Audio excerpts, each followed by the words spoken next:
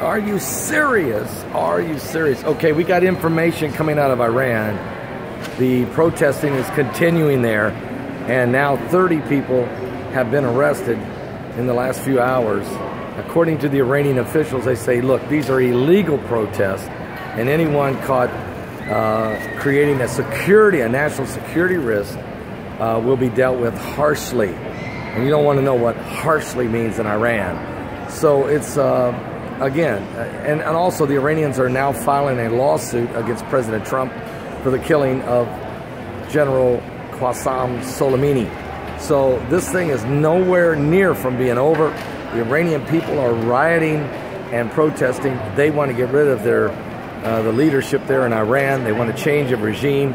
So this is going to get very interesting. We're going to stay on top of it. Also, just for a side note, another earthquake.